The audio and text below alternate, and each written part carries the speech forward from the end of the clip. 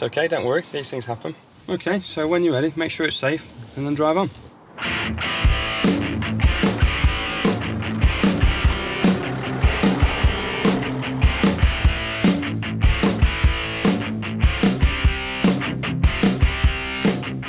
I suppose I don't really look like your typical driving instructor. This is my image, this is who I am, and this is what I do.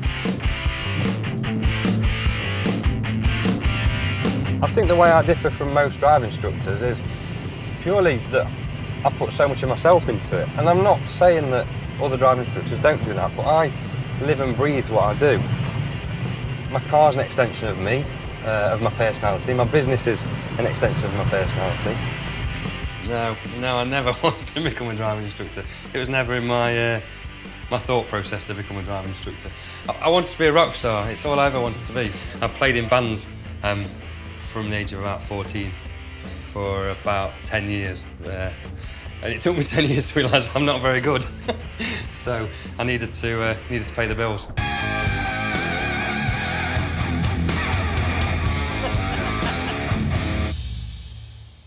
That might be more your style.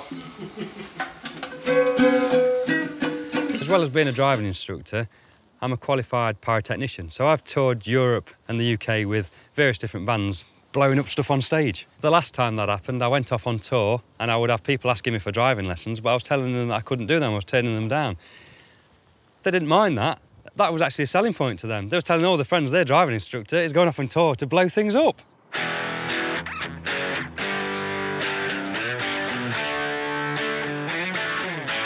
I'd always dreamed of owning a classic car, and I waited for many, many years to get the chance to make that come true. And uh, I finally bought my Morris Minor a couple of years before I passed, so I needed to make it happen. And uh, I contacted Andy and asked him if he would make the dream come true and let me poodle around the country in my little Morris. When you learn to drive, the actual physical element of learning to drive, the mechanical part of it, making the car move, it is the smallest part of it, really. The greater part is your confidence and the ability to be able to be yourself and uh, achieve what you want to achieve. I have been working as a wedding videographer for about three years now, um, and up until this point, I wasn't able to drive, which was a nightmare. Having a driving license just gives you so much freedom. For me, being able to drive was definitely a necessity. Um, and now I don't know how I coped before without it.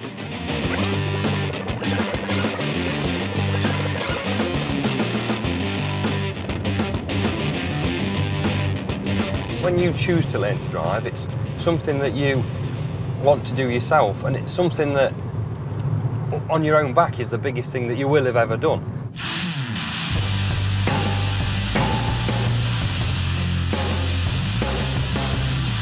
It was really important for me um, to get my driving licence when I did, as um, I was just setting up in business and the jobs I was getting were becoming bigger and bigger and further and further afield. Before I passed my driving test, delivering products was calling in a lot of favours. My mother helped me uh, quite a lot, and, um, and, and good friends with big vans become better friends with big vans. Yeah, someone like Andy in this part of the world is uh, is a godsend. To be fair, for people like myself, my business might not be here uh, now if it wasn't for Andy. I feel very honoured that my drivers have chosen me to get them through the driving test, but also to make changes in their lives. They can accomplish the things that they want to accomplish in their lives to some degree because of me. That makes me feel very proud. I'm very proud of my drivers. I'm very proud of what I've achieved, but I'm very, very proud of what they've achieved. I can see myself doing this for as long as possible. Okay, so when you're ready, make sure it's safe and then drive on.